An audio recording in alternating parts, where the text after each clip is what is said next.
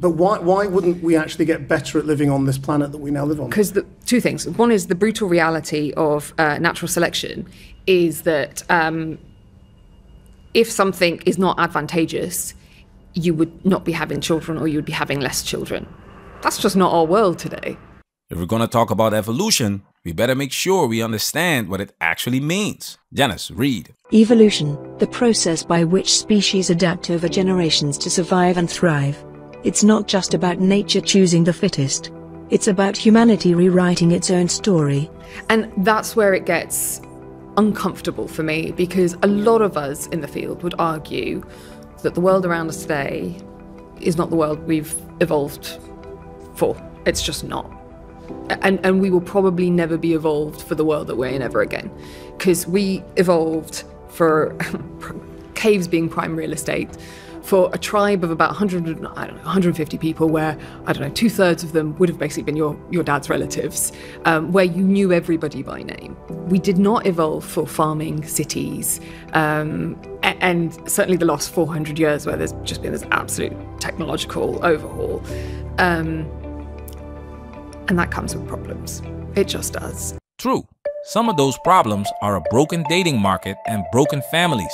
But here's the twist because of evolution, that brokenness will lead to the artificial womb. Let's dive in.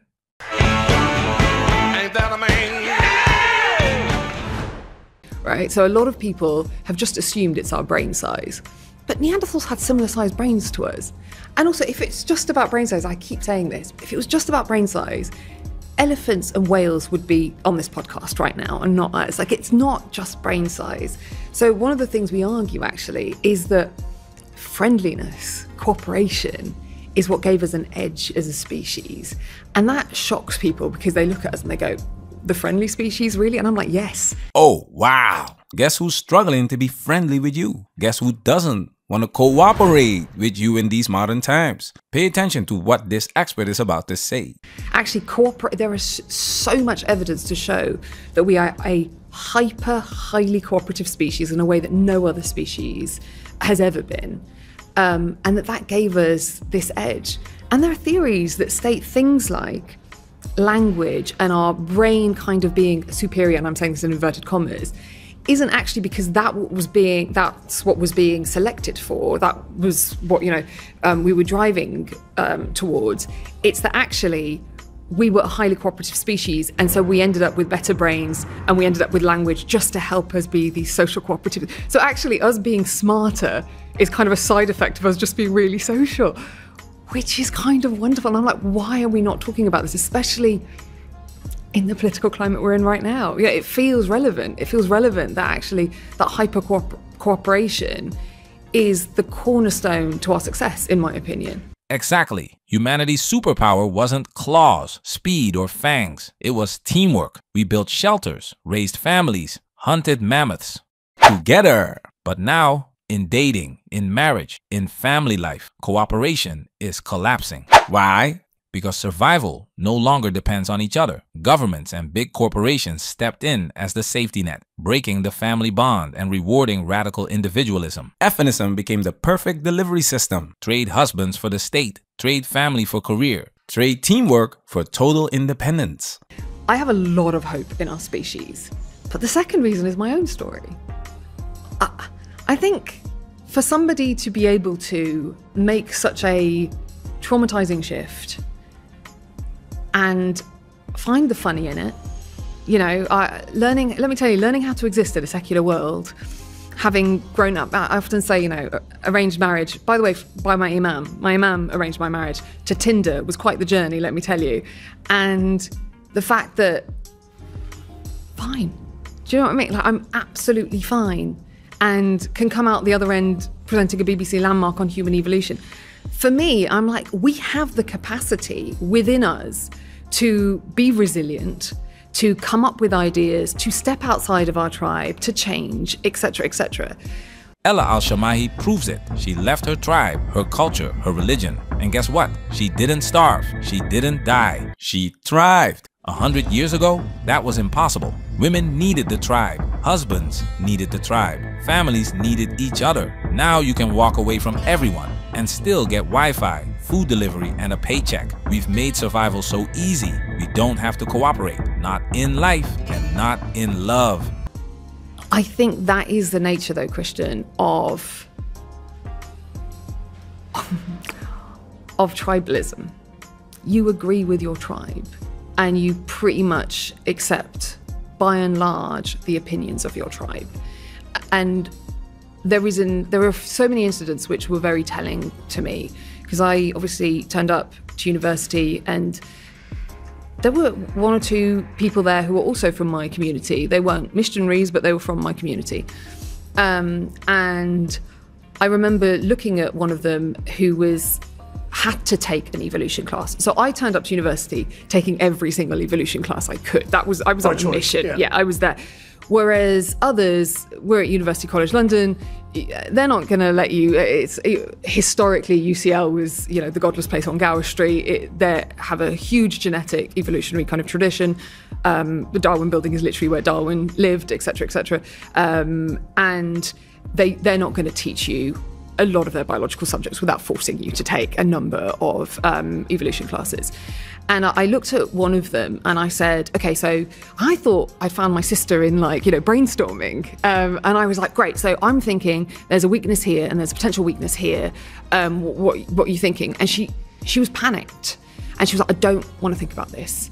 I have to take this class to pass and to get this, you know, to get through the year.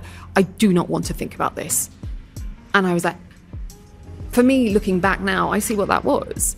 Um, that was you fall in line with your tribe, um, and you don't want to question something because at the time that was actually questioning your faith. It wasn't questioning. It's not like there was the alternative that there is today. She's right. We're wired to follow our tribe. But what do modern Western tribes raise? Not wives, not husbands, not builders of families. They raise employees. They raise people who think loyalty is oppression and commitment is settling. With many benefits. You know, I, like truthfully, if you held a gun to my head and were like, okay, well, you go back to the Paleolithic, I'd be like, no, no, no, no, please, I'm actually quite happy where I am. But there's so much that isn't working, and in my opinion, it isn't working because this isn't the world we've evolved for. You see, she proves why you shouldn't bring your foreign girlfriend back to the West. Once they taste even a little bit of Western society, they'll absorb the same mentality and behaviors you were trying to avoid. If you want a woman who values marriage and family, she has to come from a tribe that still teaches it. Good luck finding that in the West. Right, but do you believe, as an evolutionary biologist now, that, that evolution will have the answers No, to this? no, 'cause I- and, and that this is something that's constantly moving and changing and No, I, I think I agree with um, other evolutionary biologists that basically think evolution is now dwindling to the point of almost not existing in our species because we have medicine and science that have just taken away the things that would normally have cast out people that, you know, for example, I mean, the most extreme example, this is uncomfortable, so I'm really sorry about this, but like infertility. Infertility, that is the biggest thing that would normally be selected against, like, just by very nature of it.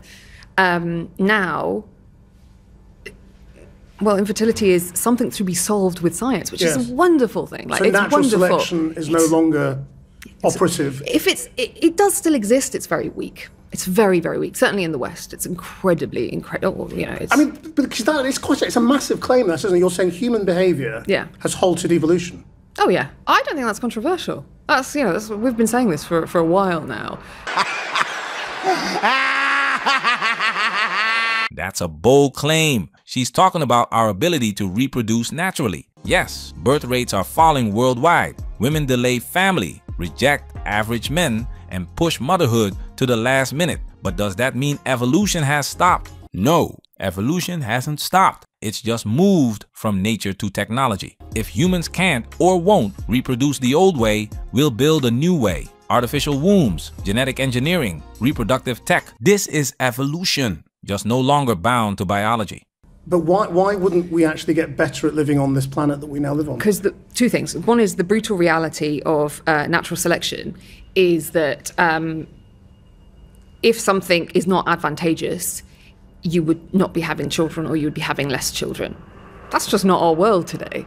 Our world today you can you can be um, brilliant by every standard and choose not to have children and that be you know absolutely normal. Um, You can have some kind of a uh, like a, any kind of disease that normally would have. You know, we laugh in our family that quite a few of us have got allergies, and one of us has an allergy to dust, and we just laugh at that particular sibling because we're like, can you imagine how you would have handled the caves?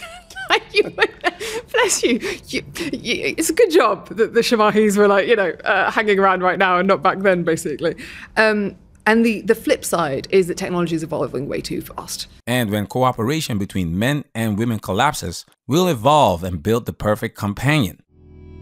Humans are endlessly adaptable. Every crisis in history has forced us to change, and dating is no different. If women don't want to cooperate with men, men will innovate. They'll find a way to get what they want without biological women. Society will adjust because survival always wins. It's brutal, it's inevitable, it's evolution. So when Ella Al-Shamahi says humans survive by cooperating, she's right. But when cooperation dies, survival doesn't. It just changes. And that's where the future of love, marriage, and family is headed. Adapt or get left behind.